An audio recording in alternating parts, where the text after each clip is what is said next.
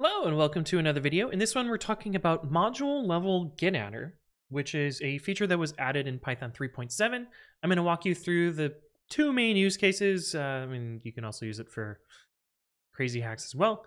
Uh, but anyway, let's jump into it. I wanted to show you how it works as well. Okay, so in normal Python classes, uh, you can have a class and it can have a getattr and it will be passed an attribute and you can you know return some value based on this attribute.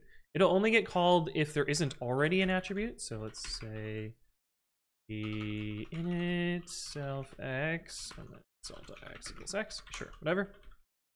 Um unrecognized attribute attr so let's just put a little print in here. Uh, so if you access X, it won't go through getattr. Uh, is kind of your fallback for other attributes. So um, you can return whatever you want. So let's say we you know, make make a string as a result. And now if we were to build one of these objects and we do print c.x, you'll see we get whatever. And you could, you know, unknown, unknown attribute here. Okay, so this is normal getattr and how it works in Python. Uh, this is not the point of today's video, but I wanted to, oh, I forgot to actually give it a value. Um, but I wanted to show you, you know, how, how it works. Um, so this is normal getattr. Uh, what module level getattr allows you to do is do the same approach, but instead have it at the module scope. This way you can import names from a module that may not be statically defined, uh, may need to be dynamically defined, or you can do things like uh, issue deprecation warnings, or all sorts of other stuff. Um, it was added because you could do this before by uh, assigning things into sys.modules. So if we did uh, sys.modules double under name equals C, we just stick this random object in for our current module. Um, and so now if we do import t we need to actually import sys as well first. Of course. Uh, import t, and then, you know, you can access t.x, that works fine. Uh, but if you access some unknown attribute, it can go through the same getattr lookup. However, this was kind of inconvenient and hacky, and there were some cases where this breaks imports, and it was just kind of fiddly. And so, uh, you know, there surely is a better way to do this. And the better way to do this in Python 3.7 and above is to define a module level get getattr.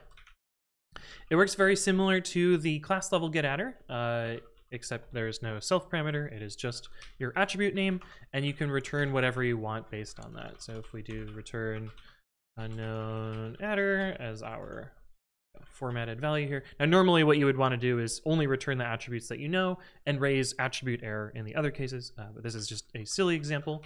We take the same thing as before and we do t.x, or, well, x is unknown. We do t.c, it's that uh, global C instance that we had, um, and if we, you know, access whatever, we're going to get back the, the callback from our getattr. Um, one, or I think the most important use case of this is for issuing deprecation warnings for only a little part of your module. Uh, this is actually one of the use cases that uh, def getattr in Python files. Uh, this is actually one of the use cases. Yeah, PyTest is the only thing that's using this that uh, I maintain at the moment. Uh, here is one example: source PyTest Python. Getattr. Yes. Okay, so here's an example from PyTest where uh, PyTest wanted to deprecate this specific name from this module, but not anything else. Um, also, this name isn't necessarily constructed in any way. It's just referenced. And so putting a deprecation warning inside this class wasn't enough to uh, actually trigger any deprecation warnings. So PyTest wanted this to show up on import time. And so the way to do that, or the way PyTest did this, is to define a module level getattr uh, allow it to get this fallback name. If it's specifically this one instance uh, name, then we can return a value and issue a warning. Otherwise, we can raise an attribute error. And so this allows you to still be able to use this, uh, but give a deprecation warning. That's one use of this that I think is the most important use case. The other is magic. and I say magic, I mean things like uh, building classes based on the attribute or the yeah the attribute name, which is what PyTest uses it for in this file. if you look at getter here, uh, not that getter, but this one, uh, actually this getter calls that other one. Uh, so what this does here is based on the attribute that's retrieved from the module, it's going to get a special error subclass that's built dynamically and it's a little complicated and uh, has a fake module and there's all sorts of fun stuff here. But this is how the uh, the error mod uh, error mapping is done. So it's based on the uh, the error name.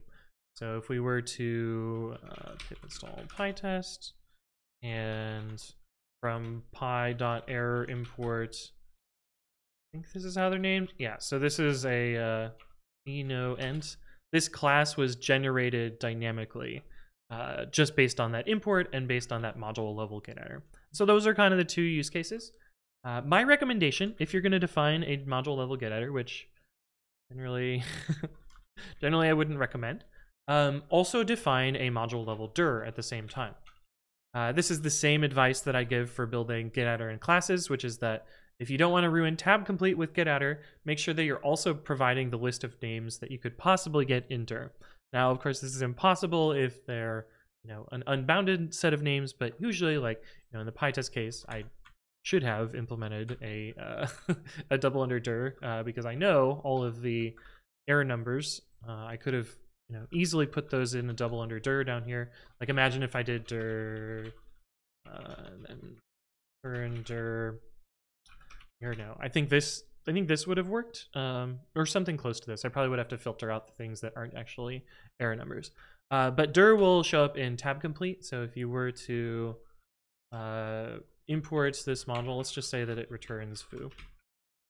Uh, import t, and then we tab complete. You'll see that this foo shows up in the dir there. Now, of course, this is not the right way to do this. I would do dir plus this. Uh, that way you get the default names as well. I think that works. I hope that doesn't uh, recurse. Hmm. Hmm. Uh, I guess we could do list globals. That would be another way to do this uh, import t t dot tab complete. Yeah, okay. So now we have all of the names that are available there. So this is probably how I would implement dir. Um, you know, if this was the only dynamic attribute that getter was providing. Uh, but anyway, that's new in 3.7. Hopefully you found this useful. If there are additional things you would like me to explain, leave a comment below or reach out to me on the various platforms. But thank you all for watching, and I will see you in the next one.